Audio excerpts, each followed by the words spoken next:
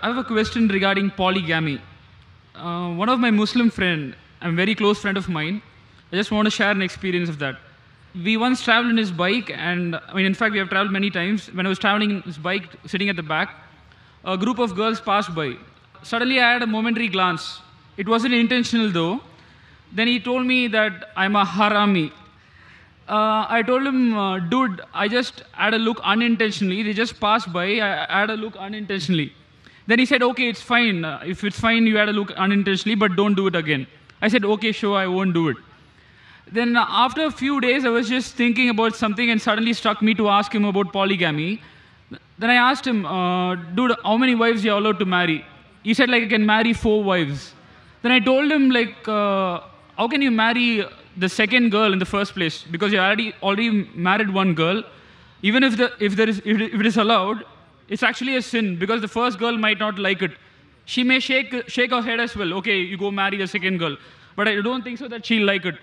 So I, I just told him that this is in fact a more sin that you're doing. Uh, I didn't compare myself to him. I just told him that this is a sin. But then he told uh, all our humans, so we can marry, so it's not a problem.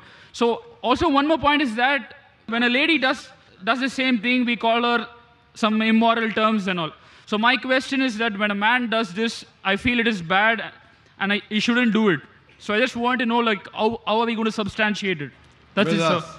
brother asked a very good question, a very common question regarding polygamy. Before he posed the question, he said that he was going on a bike with one of his friends and unintentionally gave a glance, and his friend used foul language. What your friend called you was wrong. Point number one. What your friend called you and used foul language is wrong, it's un-Islamic. Okay, so actually he didn't mean it, sir. He just Fine, if it, you didn't yeah. mean it, you forgave him, alhamdulillah, good. Patch up between friends, no problem. I am giving the Islamic verdict. What he called you was wrong. He cannot use foul language. But you forgave him, he forgave you, no problem. Friendship, alhamdulillah, may Allah forgive both of you. Coming to your main question.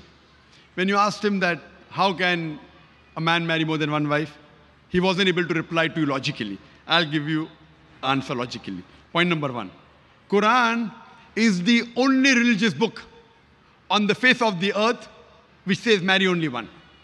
There's no other religious book on the face of the earth which says marry only one except the Quran. If you read the Hindu scriptures, what's your background with? Are you Hindu or? a- Yeah, I'm Hindu, sir. Right. Yeah. If you read the Hindu scriptures, if you read Ramayana, the father of Sri Ram, King Dashrath, how many wives did he have? He had three wives. If you read Mahabharata, Sri Krishna, how many wives he had? How many? Four? I mean, I Ten. know that more than one. That's it, sir. Uh, how many? More than one, at least you know. Yeah, yeah. How many? Four? Ten? Thousand? Ten thousand? He had 16,108 wives. How many? No, no. Uh, one No, more point here is that uh, Let me I, I'm not saying answer. the Hindus did the right thing. No, no, sir. no. Even I'm not saying that it's the right. I'm coming to the answer. All right, sir. After I finish the answer, I'll come to logic also. I never said that you are saying Hindus did right. Yeah. I'm telling you, Krishna had 16,108 wives. And even after he had 16,108 wives, do you know who was Radha? Have you heard the name Radha? Yes, sir. Yes, sir. Radha was his wife. Yeah. Wife. Actually, not. But Not, actually not. Even though he had 16,108 wives, Radha wasn't his wife. What was she, we can discuss later on. Time doesn't permit us. But she was not the wife. How many wives he had? 16,108 wives. If you read the Bible, Abraham, according to the Bible, had three wives. Solomon had 700 wives. So, according to the Christian scripture, Jewish scriptures, Hindu scriptures, you can marry as many as you wish. There is no upper limit. 1, 10, 20,000, 16,000, no problem. But actually, I think it's not mentioned Brother, anywhere, sir. It's not mentioned that people should marry. I, I think so. They're just doing it. I'm not sure. I'm just asking you again. Brother, have you heard my answer? Listen to my full answer, then you allow you to speak. Yeah. Okay, sir. If yeah. you interrupt in between, Yeah, when you ask the question, did I interrupt? No, no, no. I'm sorry, sir. Please go ahead. I told you you didn't hear my answer. There is not a single religious scripture on the face of the earth besides the Quran which says marry only one. Get me a statement from any Hindu scripture which says marry only one. Can you get, brother? No, sir. So why are you talking then? No, I'm saying it's also not that given that it says you can go marry as many as you wish. When your Lord, when your father of Sri Ram, King Dashrath is marrying three. Sri Krishna is marrying 16,108. No, what, what I'm According to Vishnu Sutra, chapter number 24, verse number 1. A Brahman can marry four wives. How many? Four. I'm quoting you scripture. Quoting you scripture. If you don't know your scripture, is it my fault? No, no, I'm not saying about that, sir. My question is suppose it is given that people sh- can do this, it doesn't mean that they shouldn't do this. And either ways, right? Brother, there is not a single religious scripture beside the Quran which says marry only one. No, no, I accept that, sir. when my they're point, saying you no, can no. marry four, who are you to object? No, no. My point is, my point is that when you told like, uh, okay, Krishna married so and so. What I'm saying is, it, it isn't given in the Bhagavad Gita as you told in Quran that they should marry only one person, and maybe that they, they they use that as a loophole. But my question again comes back here. So you mean to say that it is allowed or it is not allowed? It is right or it is wrong? It is allowed in Hindu scriptures, Christian scriptures, as well as the Jewish scriptures. If you don't understand English, the problem is in you, not in me. no, no. I'm coming back to polygamy, which I told you. I have not completed my answer. Okay, so yeah. The problem is you are too impatient. No, no, no. Please go ahead, sir. Let me complete my full answer. I'll give you time to speak. Yeah, sure, sure. Yeah, And then I'll ask you everything what you say is wrong with Islam and I'll convince you, inshallah. yeah okay. Sir. Even if you have to stay till the morning. Sorry? Even if you have to stay till the morning, you and I. Yeah, okay, yeah. Even yeah. if you have to stay till the morning. Sure, sir, yeah. If the police does not give permission, we'll go in the room and talk. Great, sir. Fine, sir. Thanks a lot, sir. Please go. Yes, but you come to me, okay, Yeah, afterwards. sure, sure. Yeah, And we'll talk till you get convinced Sure, with sir. each and every misconception you have about Islam. yeah please go. I'll No, it's not a miscon- It's not a misconception. It's just a I'm doubt. telling you it's a misconception. Okay, sir. Yeah. So no religious scripture. All the religions, they say you can marry as many as you wish. There's no upper limit. It is later on, the Jewish rabbi, Gershom ben Yehuda, he passed the synod in 960 C to 1030 C that Jews should marry only one. Till as late as 1950, the Jewish people living in Muslim communities known as Sephardic, they used to marry more than one. It is later on in 1950 that the chief rabbi of Israel, he passed a synod that Jews should marry only one. It is the Christian church which has put an upper limit that Christians should marry only one. According to the Bible, you can marry as many as you wish. When Abraham could have three wives, it never said it is a sin. When Solomon could have 700 wives, it never said it is a sin. So who are you and me to object? When the messengers are marrying many wives, it is an example we should follow. That means the other scriptures are encouraging. You marry as many as you wish. If you can't understand the language of the scripture, the problem is you, not in me. In the Hindu scriptures, you can marry as many as you wish. It is the Indian government which passed a rule in 1954 and the Hindu Special Marriage Act that Hindus should marry only one. Otherwise, the scriptures say you can marry as many as you wish. If you read Women in Islam, a government report which gave us statistics on page number 66, 67, the percentage of Indians who married more than one wife, polygamous marriages, between 1951 1961, Muslims did 4.31% polygamous marriages. Hindus, 5.06. So in India, more Hindus are marrying more than one woman than Muslims. Though the Indian government gives permission for Muslims to marry, to the Hindu it is not allowed. Imagine if the government gives permission for Hindus to marry more than one wife, what will the percentage be? I don't know. Now coming to the logical aspect. What does Islam say? As I mentioned, the Quran says in Surah Nisa, chapter number 4, verse number 3, marry women of your choice in twos, threes, or fours, but if you can't do justice, marry only one. This statement, marry only one, is only given in the Quran and no other scripture. It says, marry women of your choice in twos, threes, or fours, but if you can't do justice, marry only one. So marrying more than one wife in Islam is not compulsory, it is optional. But if you marry more than one wife, and if you can't do justice between them, then you're in trouble.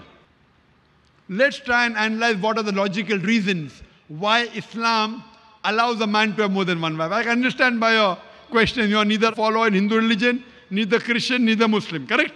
I just think that love is God, sir. That's it. Love is God. What is love is important first. Yeah. if you don't know the definition of love, No, no, sir. Please go ahead, sir. of God? First, I'll talk about polygamy, then I'll talk about love. Yeah, sure, sure. Logical reason why Islam permits a man to have more than one wife. By nature, male and female are born in equal proportion.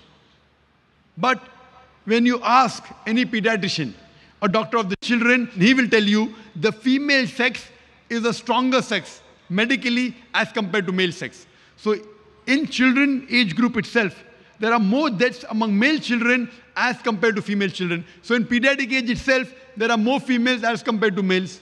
As life goes on, that takes place due to wars, due to accidents, due to alcoholism, drug addiction. More males are dying, more men are dying as compared to females and women.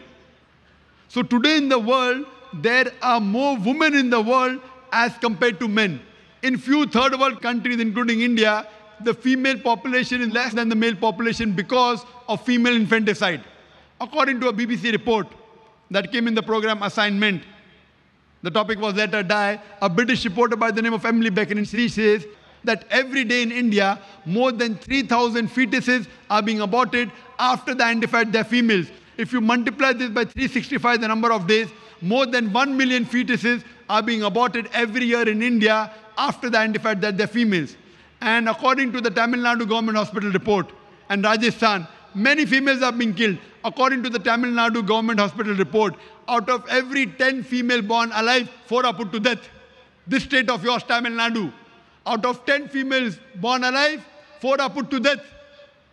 And there are billboards in Rajasthan and here, spend 500 rupees, amniocentesis, ultrasonography, identify the sex you're carrying in your womb and say 500,000 rupees, indicating spend 500 rupees, do ultrasonography, if it's a girl, abort her, and say 5 lakh rupees, few lakh in upbringing her and balance in dowry.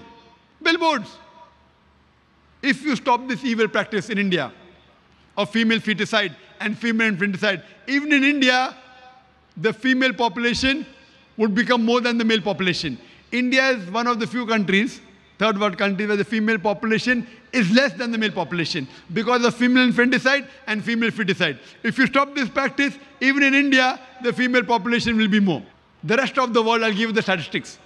In New York alone, there are 1 million females more than males. In USA alone, there are 7.8 million females more than males. In Germany alone, there are 5 million females more than males. In UK alone, there are 4 million females more than males. In Russia alone, there are 9 million females more than males. And God alone knows how many millions of females are more than males throughout the world. Suppose I agree with your ideology. One man should have only one woman. If I agree no, with no, you. I didn't say that, sir. Brother, let is, me complete my answer.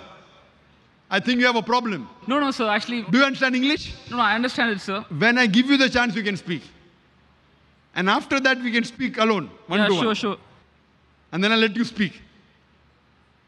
If I agree with your ideology, or people like you who say you should marry only one wife, because marrying second wife, the girl may feel bad. If I agree with you, then suppose your sister happens to live in USA, or my sister happens to live in USA, and the market is saturated. Every man has found a woman for himself. Yet there will be 7.8 million females who will not find husband. And I suppose your sister happens to be one of the 7.8 million females who have not found a husband, or my sister happens to be one of the 7.8 million females in USA who have not found a husband, the only option remaining for her is that she either marries a man who already has a wife or becomes public property. Public property! Such a harsh word. Brother, it is the most sophisticated word I can use. In America, having mistress is common. According to American statistics, an American man on average has eight different sexual partners before he settles down with one. How many? Eight. Some may have two, some may have ten, some may have hundred. Average is eight. And after marrying, how many sexual partners they have? The statistics not mentioned there. Eight. Having mistress in America is common. One, ten, twenty. Having more than one wife doesn't go down the throat. When you are a mistress, when a woman is a mistress, she gets no rights. She's degraded. She's dishonored. When a woman becomes the second wife of a husband, she gets the honor. She gets the rights. And she's dealt with honor and with grace. I agree with your question, brother. That no woman would like to share the husband. I agree with you. I agree with you totally. No woman under normal circumstances would like to share the husband. But the Islamic Sharia says, let a small loss take place to prevent a big loss. A good, pious Muslim woman who knows the world scenario, would not mind sharing her husband so that the other women do not become public property. She is ready to sacrifice. They aren't selfish like you. Any Muslim woman who is pious, who knows the world scenario, even though she will not like, she would not mind sharing a husband to prevent the other woman from becoming public property. That's the reason Islam has permitted, it is not compulsory for a man to have more than one wife, has permitted some men to have more than one wife to protect the modesty of the woman. We don't believe in prostitution. We don't believe in that. It is with legal right. This is what God has made. This is the status of the world. There are more women than men. What solution do you have? Now, brother, I'm asking the question. If your sister, brother, I'm asking you now. Yeah, sure. No.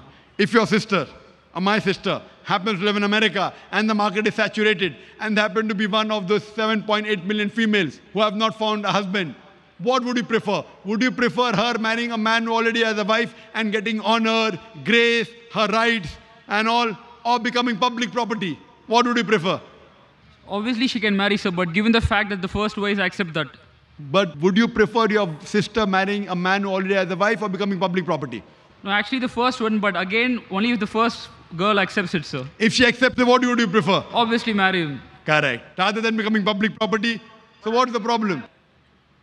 I'm asking the question, would you prefer her marrying a man who already has a wife or public property? You said marrying a man who already has a wife, correct? The first one agrees or not agrees is second.